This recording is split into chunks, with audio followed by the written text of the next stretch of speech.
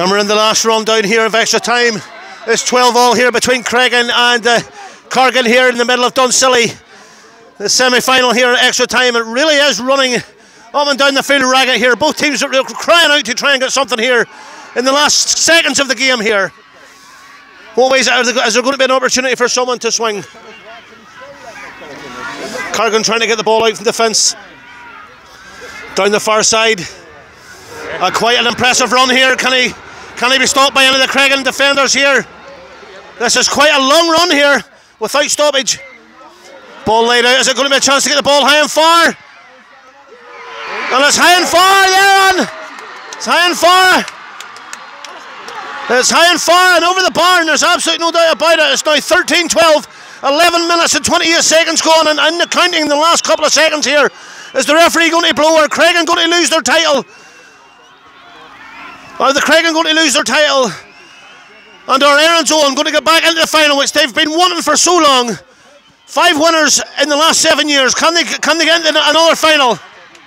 It's looking very much so at this moment in time. They're going forward again. The referees hold on to that whistle very, very tight. The atmosphere here is electric. A good crowd about. The referees the whistle and there it is. The referee's ready to blow his whistle. There it is. And Cargin have defeated the Creggan. The champions are out. In the last kick of the ball. The last kick of the ball. There's absolutely no doubt about it. Erin's Own have hung in. They were down a point, they were up a point. They were down a point, they were up a point, but they have ended up getting the vital point. And it's 13 12 to Cargin versus the Creggan. The champions are out. And the former champions are back in the final. I'm here with Big John McNabb, a goalkeeper and a point scorer extraordinaire today. Uh, John, I think you were very, very poignant in making sure that your side got to the final. Five wins in the last seven years. You didn't win last year, but you're definitely back in the final this year. How does that feel? Great to be back in the final. You know, uh, we knew we were coming up against the reigning champions. Um, we knew it was going to be a tough game. We knew would take it right to the wire.